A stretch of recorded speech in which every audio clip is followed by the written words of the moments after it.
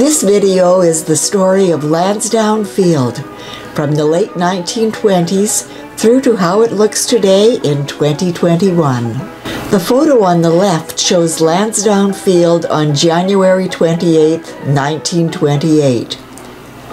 Two brothers, Ernest and Cecil Eve, leased 77 acres or 31 hectares, measuring a quarter mile by a half mile from the original owner Elizabeth Scott and opened their aerodrome. The photo on the right shows the field in 2021. The northern section is home to Lansdowne Middle School and Artemis Place Secondary School. In the middle is a subdivision built in the 1950s.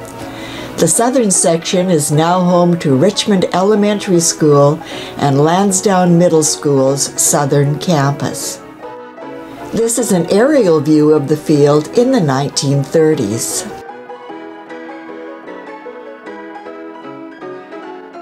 Traveling east along Hillside Avenue, you will see Hillside Shopping Center on the left.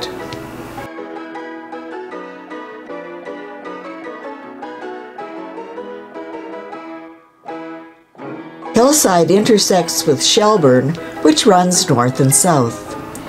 Coming from the north on Shelbourne and turning left on Hillside, the road name changes to Lansdowne going east.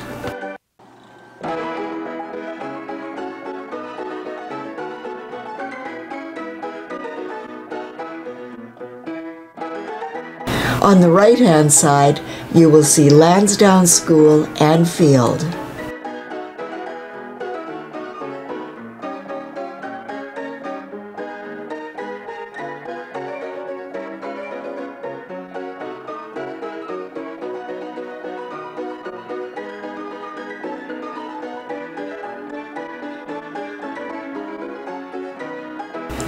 Continuing on, we come to the corner of Richmond and Lansdowne with Camosun College to the left.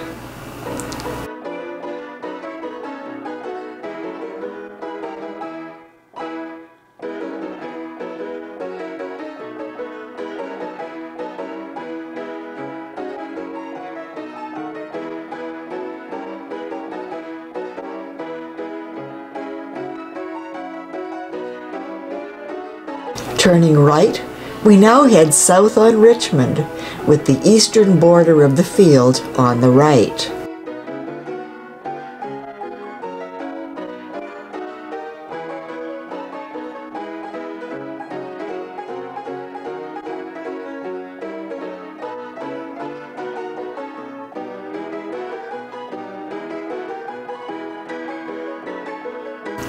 We continue to Newton Road where we turn right with the southern boundary of the field on our right. This is now home to Richmond Elementary School and Lansdowne Middle School's southern campus. Continuing west is a small park with Bowker Creek running through it. In the 1940s, glider ground crews would travel south of the creek where their Packard car would become a stationary motorized winch for launching the gliders. Today, the creek in this area is enclosed in chain link fencing with a footbridge crossing it.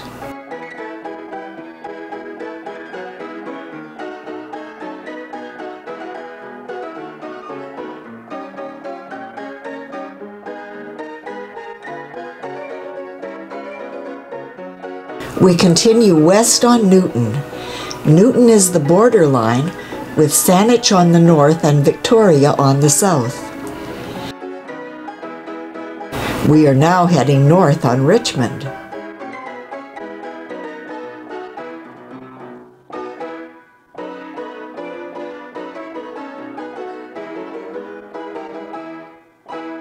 The field of the 1930s has been divided into three parts. The southern section has schools and condos. The middle section became a subdivision in the 1950s. The northern section has the middle and secondary schools as well as a field. The northern section has two monuments honoring the historic aviation events that happened on this field. South of Artemis Place Secondary School is a monument to honor the Gibson 1, the pioneering aircraft that made its first flight on September 8, 1910, from this field. This all Canadian aircraft was designed, built, and flown by William W. Gibson.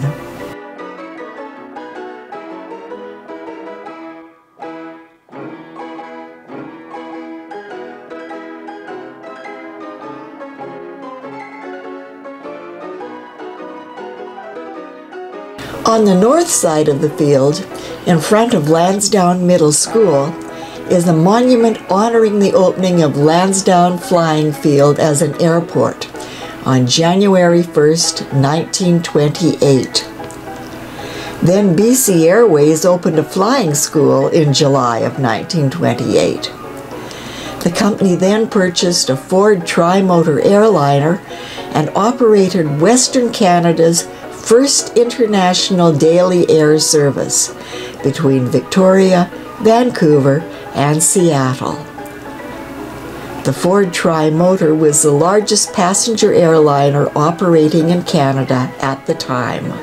This is the first of a four part series with stories about Lansdowne Field when it was used for aviation.